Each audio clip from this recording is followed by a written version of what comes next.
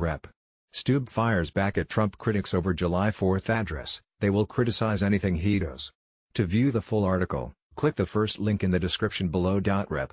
Greg Steube defended President Trump's 4th of July speech Sunday amid withering criticism from liberals who called his remarks divisive instead of unifying. Well, liberal Democrats are going to criticize the president and everything that he does, the Florida Republican told Fox Report weekend anchor Jon Scott. I mean, just look at the last several years with the Democratic House, and every single thing Ted has tried to accomplish, they have tried to thwart it, he went on. So it doesn't surprise me at all that Democratic Senators are criticizing just about everything he did. Senator Blackburn calls Trump July 4 speech one of the best that he has given Trump on Saturday vowed to safeguard our values from enemies within leftists, looters, agitators, he said in a 4th of July speech packed with all the grievances and combativeness of his political rallies.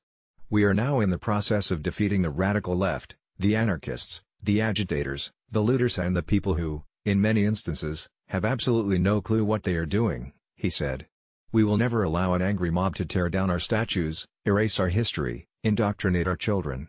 Trump, in fiery Mount Rushmore address, decries rise of far-left fascism, calls on Americans to rise up Steube praised the president's speech and slammed Democrats who took issue with his failure to mention the nearly 130,000 people who are known to have died from COVID-19 in the U.S. They will criticize anything he does, and I just think it is disrespectful to the office of president and the type of things has trying to do put America first, Steube said. Later addressing Florida's coronavirus surge after reporting over 11,400 new cases Saturday, the House Judiciary Committee member said that the staggeringly high number likely was due in large part to the increase in testing capacity in the state. We're testing over 200,000 people a week. To view the full article, click the first link in the description below.